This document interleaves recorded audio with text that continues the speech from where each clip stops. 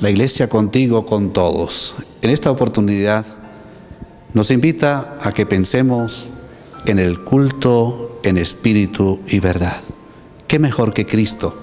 Muchas veces los feligreses andan buscando ese encuentro con Él. Y qué mejor que encontrarlo ¿dónde? En el sagrario. Allí Jesús nos espera para que lo escuchemos.